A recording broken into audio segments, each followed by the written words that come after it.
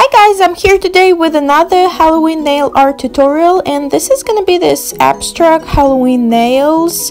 I tried to use the colors of Halloween, black and orange, little bit of white and little bit of glittery holo polish.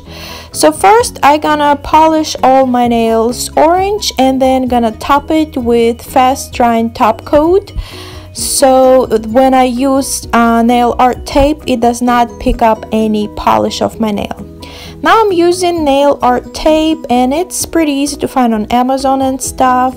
And just gonna do this pattern kind of going like um, kind of I don't know zigzag kind of thing. So yeah just place it on my nails like so. And if you put the top coat it's not gonna pick up any nail polish or nothing like that. And yeah super easy. So yeah gonna do it. And it's okay if like the size is different it's just fine. Like so and you see my other on my other hand I broke my nail. Ah.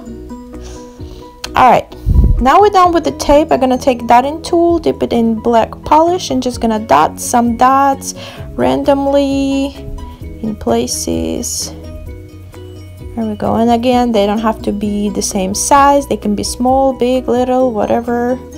Just dot some dots. Like so. Then I'm gonna take the uh, holo glittery polish and gonna dot some more dots with that. Like in between the other ones. Super easy guys. Super easy. Like so. And then I'm gonna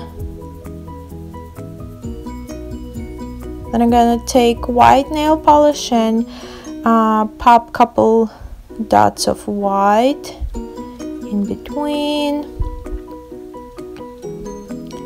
Like so. And it's okay if you put it like press it on the tape. That way it will stay there for sure. Then I'm gonna pop, uh, pop some more black ones and silver ones and kind of mix the colors. And there we go and once you're happy with the result uh, you gotta remove the tape. Don't wait for it to dry. I took the tweezers and just gently remove in the order you were placing them kind of going backwards. Just remove them. Like so and you see it creates this cool like stripes and dots together. I don't know I just like this effect.